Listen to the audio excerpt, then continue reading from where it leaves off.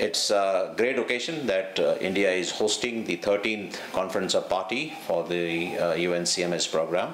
So this is a fantastic occasion for our country and uh, this is also an opportunity for our country to showcase the good works that they have been doing in wildlife conservation and uh, uh, in general and migratory species conservation in particular for the last so many decades and uh, this is also uh, important for the uh, important organization and the individuals who are involved in conservation of wildlife to imbibe the best practices which will be also on show during this particular period of COP which is being held in our country.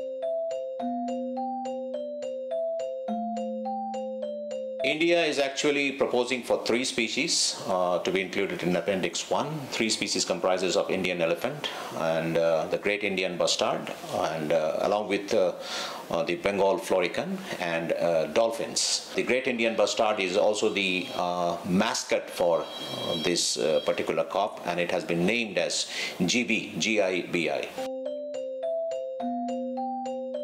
The expected outcome is, uh, uh, I'm told that there will be around eight, 10 species which will be considered uh, to be included in the Appendix 1 and uh, there will be issues uh, which are affecting the conservation of uh, the migratory species like climate change, like marine pollution, like plastic pollution. All these issues are going to be taken up.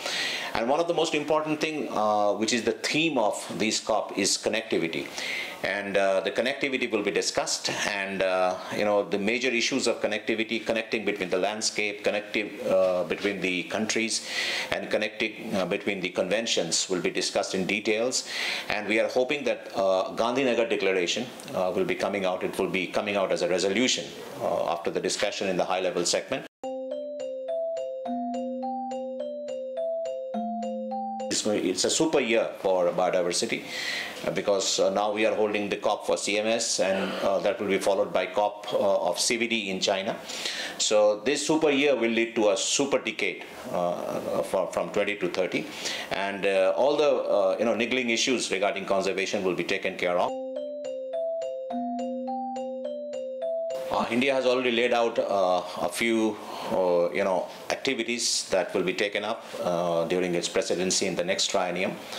The very first thing is that India is uh, uh, spearheading the Central Asian Flyway plan and uh, it is expected that they will continue to do so in the upcoming three years and take into fold 30 countries which are a part of the Central Asian Flyway. The second thing uh, that is on the anvil is the uh, creation of trans-frontier uh, national parks with our adjacent countries. So this is also going to be a game changer uh, in the near future. And the third thing that we are thinking of taking forward is the marine conservation because we have been doing uh, a lot of activities for the terrestrial species.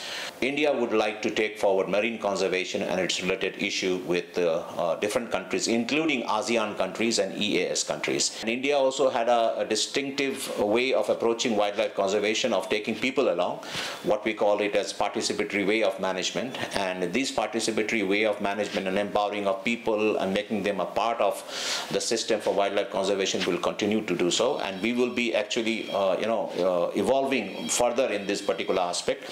And we can also be a source for learning from uh, for other countries